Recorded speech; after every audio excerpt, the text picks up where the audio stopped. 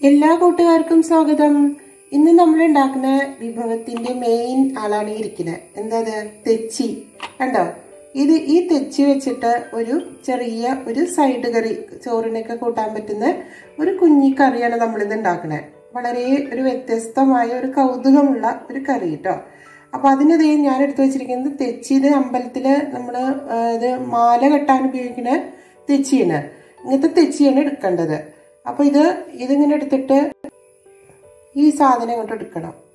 ഇതേ കണ്ട? നിങ്ങൾക്ക് കാണുന്നുണ്ടാവില്ലേ? ഇതിങ്ങോട്ട് എടുത്ത് മാറ്റണം. ഇതിന്റെ ഉള്ളിലെ ആ നാര്. അത് വേണ്ട. അത് മാറ്റിയിട്ട് എന്നിട്ട് ഈ ഈ വെള്ളത്തിലേക്ക് ഈ തെച്ചി ഇടുക. ഓരോ തെച്ചിയായിട്ട് എടുക്കുക. ഈ ഇതൊന്നും എടുക്കണ്ട. ഇതിങ്ങനെ ഒന്നെടുക്കുക എന്നിട്ട് ഈ നടുന്ന് ഈ സാധനം കൊണ്ട് എടുക്കുക. ഇതേ കണ്ട? ഇത് കളയാം എന്നിട്ട് ഈ തെച്ചിപ്പൂവ് വെള്ളത്തിലേക്ക് ഇടുക. എന്നിട്ട് ഇത് നമുക്കിത് ഓരോന്നായിട്ട് ഞാൻ ചെയ്തെടുക്കട്ടെ. എന്നിട്ട് അത് കഴുകി എടുക്കണം. വെള്ളം പൂക്കി വൃത്തിയായിട്ട് കഴുകി എടുത്തു കൊണ്ടുവരാം. അപ്പൊ ഈ നമ്മളെ തെച്ചിപ്പൂവൊക്കെ ഞാൻ കഴുകി ആ നാരൊക്കെ മാറ്റി കൊണ്ടുവന്ന് വെച്ചു കേട്ടോ ഇനിയിപ്പോ നമുക്കത് അരച്ചെടുക്കുകയാണ് വേണ്ടത്. ഇതിന്റെ പേര് ശരിക്കും എന്താന്ന് വെച്ചാൽ തെച്ചിപ്പൂ അരച്ചെലുക്കി എന്നാണ് പറയുക കേട്ടോ.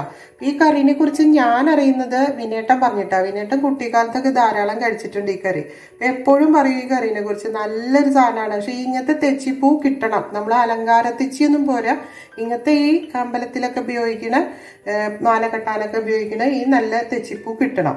അപ്പൊ അതുകൊണ്ടാണ് ഞങ്ങൾ നമുക്ക് കിട്ടിയാലല്ലേ ഇത് ഉണ്ടാക്കാൻ പറ്റുള്ളൂ. അപ്പൊ ഇങ്ങനെ കിട്ടുകയാണെങ്കിൽ നിങ്ങളൊക്കെ ഇത് ഉണ്ടാക്കി നോക്കൂ കേട്ടോ ഞാൻ വിനേണ്ട അമ്മേനോട് ചോദിച്ചിട്ടാണ് ഈ റെസിപ്പി മനസ്സിലാക്കിയത്. എന്താ വെച്ചാൽ ഇങ്ങനത്തെ കറികളൊക്കെ ഏതായി പോവരുത്. ഇതൊക്കെ ആളുകളിലേക്ക് എത്തിച്ചേരണം. പഴയ ഒരു ഒരു കറിയാണല്ലോ ഇതൊക്കെ.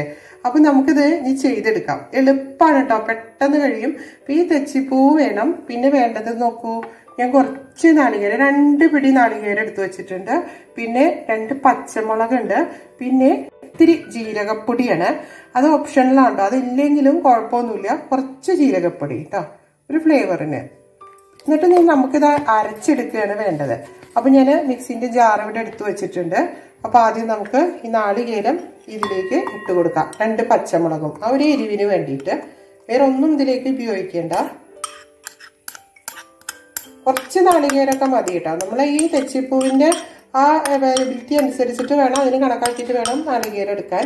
ഇതിപ്പോ ഒരു കിട്ടി ഒരു കൈ നിറയെ തെച്ചിപ്പൂവുണ്ട്. അതിനനുസരിച്ചിട്ടാണ് ഇപ്പൊ ഞാൻ എടുത്തേക്കുന്നത് ഇനി ഇത് ഈ തെച്ചിപ്പൂവും കൂടെ ചേർക്കുക അതിലേക്ക്. എന്നിട്ട് ഇപ്പൊ നമ്മളിത് തിളപ്പിച്ചാറിയ വെള്ളമാണ് ഇത് അരയ്ക്കാനായിട്ട് നമ്മൾ എന്ത് ചെയ്യുന്ന? ചേർക്കുന്നത്. അതായത് ഇത് പിന്നെ നമ്മൾ തിളപ്പിക്കുന്നില്ല. അപ്പൊ അതിനായിട്ട് ഞാൻ തിളപ്പിച്ചാറിയ വെള്ളം ജസ്റ്റ് തളിച്ചു കൊടുക്കുകയാണ്. ഇതൊന്ന് അരച്ച് നല്ല പേസ്റ്റ് ആക്കിയിട്ട് അരച്ചെടുക്കണം.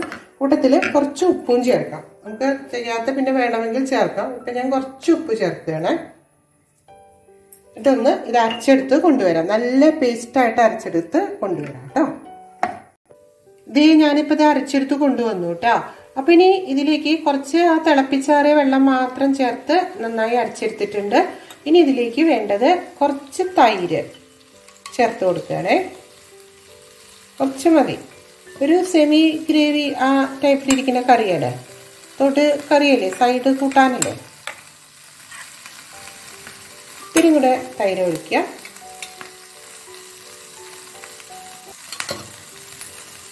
ഉപ്പൊക്കെ നോക്കി പാകാണെന്ന് തിട്ടപ്പെടുത്തുക. ഇനി നമുക്ക് കറി വറുത്തിടുകയാണ് വേണ്ടത്. ഇനി ഇതിലേക്ക് ഇത് ഞാനിവിടെ ഇത് വെച്ചിട്ടുണ്ട്. കരിവേപ്പില ഇട്ട് കൊടുത്തിട്ടുണ്ട് പാനിലേക്ക്. അതിലേക്ക് വെളിച്ചെണ്ണ ഒഴിച്ചു കൊടുക്കുക.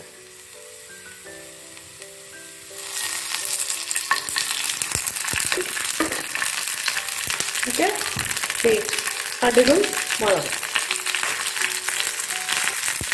ഒന്ന് പൊട്ടി വെക്കാം അപ്പൊ കടുകൊക്കെ പൊട്ടി ഇനി നമുക്ക് അതിലേക്ക് ഒഴിച്ചു കൊടുക്കാം. നമ്മളെ വറുത്തിടൽ കഴിഞ്ഞു. എന്നിട്ടൊന്ന് ഇളക്കി കൊടുക്കുകയാണ്. ഇനി ഇതിപ്പോ ഇത് ഇങ്ങനെ ടേസ്റ്റ് ഞാൻ പറയണതിനേക്കാളും നല്ലത് വിനേട്ടം പറയണതാട്ടോ എന്താ വെച്ചാൽ ഒരുപാട് ഇത് കഴിച്ച് പരിചയമുള്ള അതുകൊണ്ട് വിനേട്ടൻ തന്നെ പറഞ്ഞു തരട്ടെ കേട്ടോ. അത് എങ്ങനെ ശരിയായിട്ടുണ്ടോന്ന് വേണേട്ടെ കുറേ വർഷങ്ങൾക്ക് ശേഷം പഴയ ടേസ്റ്റ് വീണ്ടും വളരെ നന്നായിട്ടുണ്ട്. എല്ലാവർക്കും ട്രൈ ചെയ്ത് നോക്കാവുന്നതാണ്. വളരെ നല്ല സാധനമാണ്. അപ്പൊ ഇത് ഇതേപോലെ ഒന്ന് ചെയ്ത് നോക്കൂ കേട്ടോ. ഇങ്ങനത്തെ തെച്ചിയൊക്കെ കിട്ടുമ്പോൾ എന്ന് വെച്ചാൽ നമ്മളെ ഒരു ഒരു പഴയ ഒരു സ്വാദാണല്ലോ ഇതൊക്കെ. അതൊക്കെ പുത്തൻ തലമുറയിലേക്കൊക്കെ എത്തിച്ചേരട്ടെ.